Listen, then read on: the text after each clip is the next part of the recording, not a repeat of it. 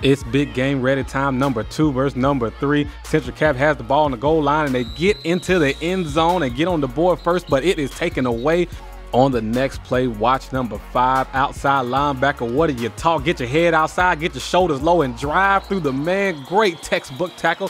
It's a good job what they're teaching over there at TFL. Then on the next play, they're bringing number 12 around and look at number 23. Pick out the play and get to the ball. Great tackle. Now they are in overtime. Coach Trey trying to get the boys right. Coach Amari trying to get the boys right for Central DeKalb. Central DeKalb's up first, and unfortunately they fumbled the ball. Oh my goodness. Now in the fifth overtime, yes, I said the fifth overtime, they give the ball to number 23 and look at him as reaches the hole, but look at number 60 with the big time blocks as he gets down to the goal line. Then they give it to him an off tackle play, run hard, run hard, drop that shoulder and get into the end zone. And they give Tucker the lead 8 to 0. Look at the Tucker fans. But Coach Lee, he's not going to let his boys quit even though they're tired.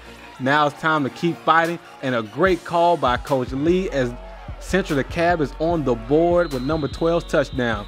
And it's 8 to 6. Now they have to convert. They have to convert. What does Coach Lee dial up? They passing the ball and you can't see it, but he is sacked in the backfield. And Tucker wins the big game ready. Eight to six and five overtimes. Hey guys, this is Jeff with Born to Compete. We're out here at the BTC Game of the Week with the Tucker Lions.